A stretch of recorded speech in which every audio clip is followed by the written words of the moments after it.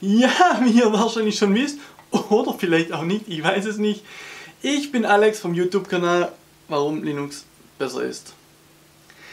In meinen früheren Videos habe ich dir ja gezeigt, das erste Ubuntu Smartphone, dieses hier, das BQ Aquaris E4.5.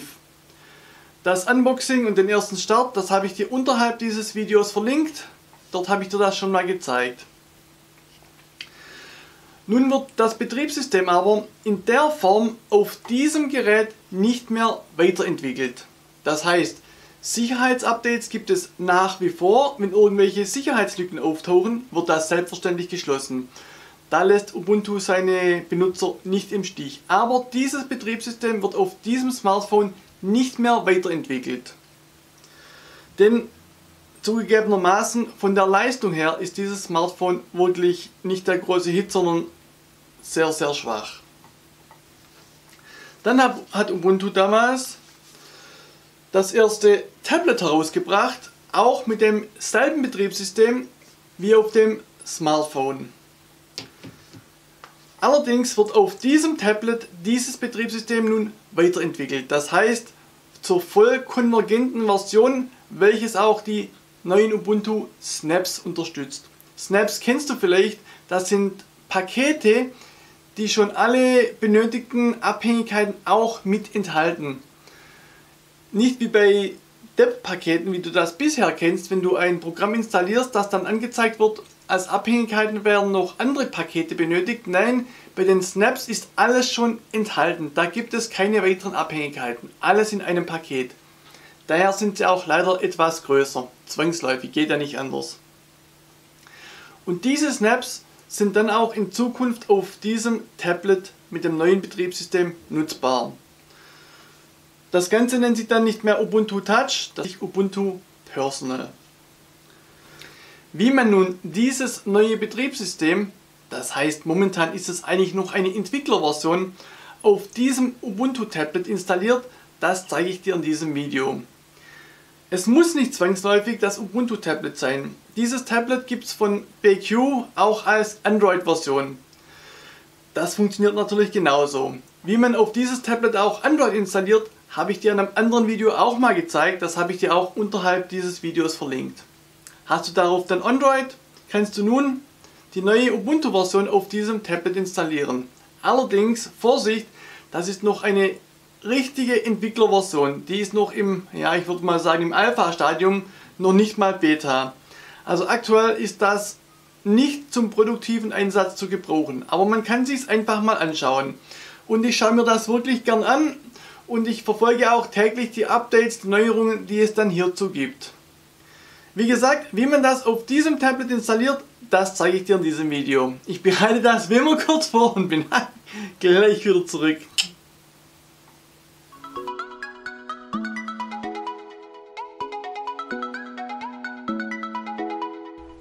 Ja, und da bin ich wieder.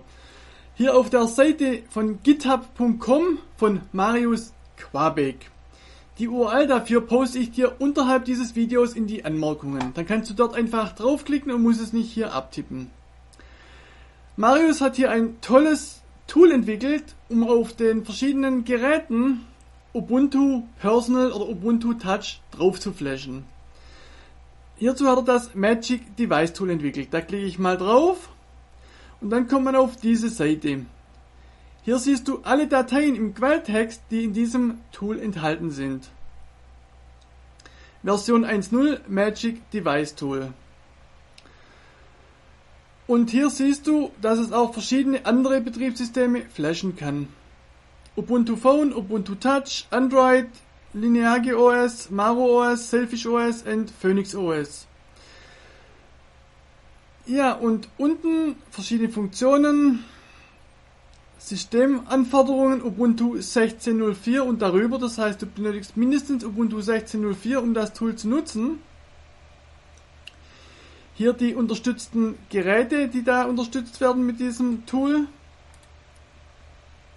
Und hier die Benutzung. Wichtig, du solltest das nicht einfach auf dieser Seite herunterladen, sondern dafür gibt es andere Möglichkeiten, sonst funktioniert das Ganze nicht. Einmal kannst du es hier mit Git klonen. Das ist ein Tool unter Ubuntu, mit dem du verschiedene Sachen klonen kannst. Oder du kannst es auch direkt als Snap installieren. Hier. Ich verwende mal das Git, um das Ganze zu klonen. Dazu markiere ich das Ganze und öffne hier ein Terminal. Das geht auch, indem du die Steuerung Alt und die T-Taste gleichzeitig drückst. Dann hast du auch ein Terminal. Im Terminal füge ich durch Drücken der mittleren Maustaste das Ganze ein und dann wird das heruntergeladen und hier geklont. Du siehst, es ist auch schon fertig. Dann wurde das Ganze erstellt im Magic Device Tool Verzeichnis. Da gehe ich rein mit CD, Leertaste, Magic Device Tool, Eingabetaste und ein LS, dann siehst du, was sich darin befindet. Hier das Programm Launcher.sh. Da starte ich mal mit Punkt slash launcher.sh und dann die Eingabetaste. Dann wird erstmal nach einer neuen Version, nach einer aktuellen Version gesucht und geprüft, ob alles okay ist. Wenn ja, werden hier alle Geräte angezeigt, für die es möglich ist, das Ganze zu nutzen, um es zu flashen. Hier in meinem Fall ist es das BQ Aquaris M10 Full HD, also FHD. Codename Friesa. Um dahin zu wechseln, drücke ich die Taste 4 und die Eingabetaste. Dann gibt es hier verschiedene Auswahlmöglichkeiten. Einmal Ubuntu installieren, Open Store installieren und Screencast. Hier benötige ich Nummer 1, um Ubuntu zu installieren. Drücke ich die 1 und die Eingabetaste. Dann gibt es hier verschiedene Möglichkeiten. Einmal, um das zu flashen und alle Daten auf dem Tablet zu löschen. Oder choose a channel to switch your device to. Ne, das möchte ich nicht. Ich möchte das wirklich flashen, dass es alles wegmacht. Daher drücke ich hier die Nummer 1 und die Eingabetaste. Dann kann ich auswählen, welche Version das ich auf dem Tablet flashen möchte. Einmal die Stable Version, die stabile Version, das ist die, die standardmäßig drauf ist. Oder RC Propose, das ist eine Entwicklerversion, bevor es äh, stable wird. Die läuft eigentlich auch schon immer recht gut. Oder die Staging-Version. Das ist die wirkliche Alpha-Entwickler-Version, in der das Ganze wirklich noch im frühen Entwicklerstadium ist. Das möchte ich drauf haben. Also drücke ich in dem Fall 3. Dann die Eingabetaste. Nun wird das Ganze vorbereitet. Hier steht, bitte enable, bitte ermögliche den Entwicklermodus auf dem Gerät. Das muss man natürlich erst machen, den Entwicklermodus ermöglichen. Dazu gehe ich hier auf das Tablet, dann oben einmal runterziehen. Na, wo haben wir es denn? Systemeinstellungen. Dann hier auf über. Na, das sieht man jetzt schlecht in der Kamera. Ja, jetzt ist es hier über. Da drauf tippen. Und dann unten der letzte Punkt, das ist der Entwicklermodus. Na. Da auf drauf tippen. Dann gibt es hier den Entwicklermodus. Den muss man durch Tippen auf dieses Feld aktivieren. Du siehst es, dann wird das grün. Nun ist der Entwicklermodus aktiv. Bevor du das nun bestätigst, solltest du das Tablet zuerst am USB-Port einstecken. Das heißt, mit einem USB-Kabel mit dem USB-Port am Computer verbinden. Dann kommt hier eine Meldung, USB Debugging erlauben. Hier, da tippst du einfach auf das grüne Feld auf Erlauben. Das Fenster hier kannst du zumachen und dann hier im Terminal gibst du ein großes Y ein und drückst die Eingabetaste. Dann wird das Gerät erkannt. Du siehst es, Flashing Staging Channel. Please wait. Das Tablet hat gerade eben ausgeschalten, das Display war an, jetzt ist es nicht mehr an. Nun werden die ganzen Dateien über das Internet heruntergeladen. Das dauert natürlich je nachdem, wie schnell oder wie langsam deine Internetverbindung ist. Die Wartezeit, die schneide ich dir natürlich heraus, damit du nicht ganz so lange warten musst und bin dann wieder zurück, wenn das Ganze vollständig heruntergeladen wurde. Heruntergeladen werden hier mehrere Dateien. Du siehst es, 9,83 Megabyte, 323,63 Megabyte, 105,53 Megabyte und das dauert natürlich je nachdem, wie schnell oder langsam deine Internetverbindung ist. So, nach ungefähr, ja, dreieinhalb Minuten ist der Download bei mir abgeschlossen und dann steht hier Start Pushing. Das heißt, die Dateien werden nun auf das Tablet übertragen. Das dauert auch eine gewisse Zeit. Da musst du warten, bis das übertragen ist. Hier auf dem Tablet wird angezeigt. Ja, nun ist schon wieder weg. Da war eine ganz kurze Meldung. Ich konnte es gar nicht richtig lesen. Aber da habe ich einfach mal nichts gemacht. Einfach durchlaufen lassen. Nichts machen. Und dann geht hier auch schon das Licht an. Du siehst es, das Ubuntu-Logo ist auf dem Tablet. Und nun ist scheinbar alles fertig geflasht. Auf dem Tablet muss es wohl erst noch installiert werden.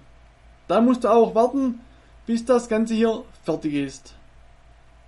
So, das Ganze hat auf dem Tablet eine Minute und 50 Sekunden gedauert. Dann ging der Bildschirm aus. Nun geht er wieder an. Und das Tablet wird nun wohl gestartet.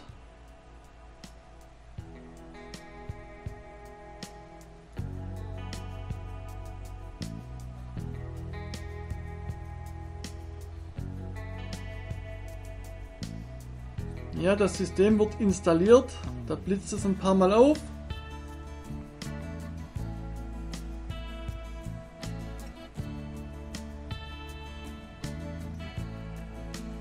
Und nun scheint es fertig zu sein.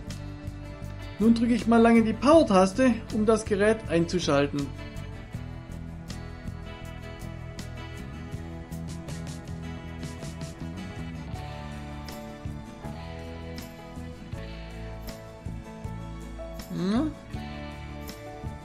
Nochmal drauf tippen kurz. Nun hat es kurz vibriert.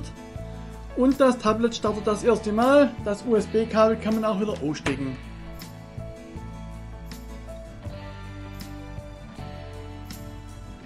Na? Drücke ich nochmal drauf. Es hat vibriert. Ja, der Bildschirm geht an.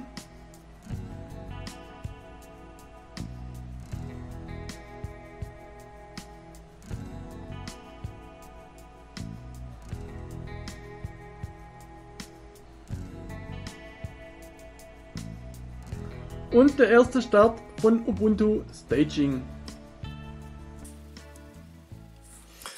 Du siehst, nun kommt hier das Installationsmenü, so wie das beim Ubuntu Touch vorher auch der Fall war. Hier erst die Sprache auswählen, Deutsch, Deutschland, dann unten rechts auf Weiter. Dann hier mit WLAN verbinden, keine Funknetzwerke verfügbar, eigentlich habe ich hier welche. Ich weiß nicht, muss ich das oben anschalten? Ich drücke einfach mal auf Weiter. Das dauert wohl einen Augenblick. Na, jetzt geht's weiter. Zeitzone. Na, Berlin. Berlin, Germany, genau. Na, mit dem Touch hat es wohl nicht so richtig.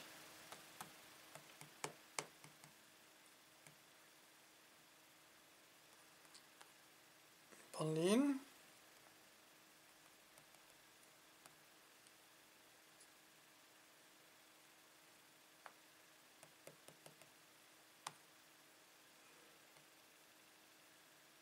Ah, okay.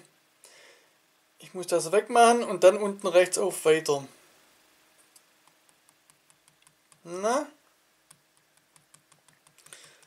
Wie gesagt, das ist noch eine reine Entwickler-Alpha-Version. Das läuft noch bei weitem nicht flüssig und fehlerfrei problemlos. Du siehst es, ich habe hier schon Probleme, das Ganze einzurichten. Ich habe es vorhin schon mal geschafft. Das ist nun mein zweiter Versuch. Jetzt geht es weiter. Sperrbildschirmpasswort. Geben Sie mindestens 8 Zeichen an. Dann tippe ich mal hier rein. 1, 2, 3, 4, 5, 6, 7, 8. Q bis I einmal durch. Das mit dem Touch auf dem Display geht nicht richtig. Ich habe hier nochmal die Eingabetaste gedrückt. Dann nochmal 1, 2, 3, 4, 5, 6, 7, 8 Zeichen. Und nochmal die Eingabetaste. Nun kann ich rechts unten wieder auf Weiter tippen. Hoffe ich mal, genau. Willkommen bei Ubuntu. Erste Schritte. Und dann ist der Ubuntu-Bildschirm auch schon da. Ohne erste Schritte. Leider kann man das Ganze nicht im Querformat verwenden. Du siehst es, es dreht sich nicht, es ist immer im Hochformat. Und auch hier dreht sich nicht auf die andere Richtung. Also momentan in der Alpha-Version nur in dieser Ausrichtung. Hier oben, ich ziehe das Menü herunter, Systemeinstellungen. Na, und dann sieht man hier, na, jetzt kommt die Einführung.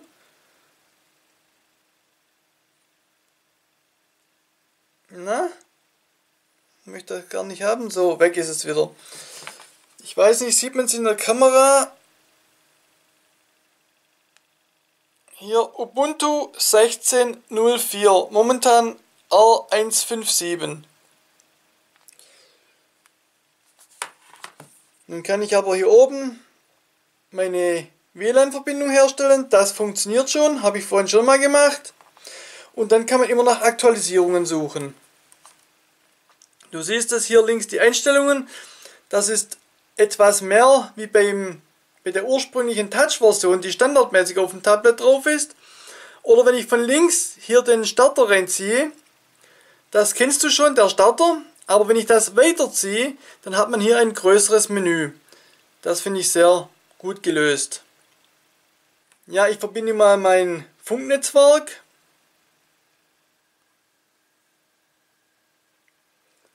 Dann auf Verbinden. Na, oder die Eingabetaste. Ja, Eingabetaste funktioniert. Nun bin ich verbunden. Nach Aktualisierungen suchen.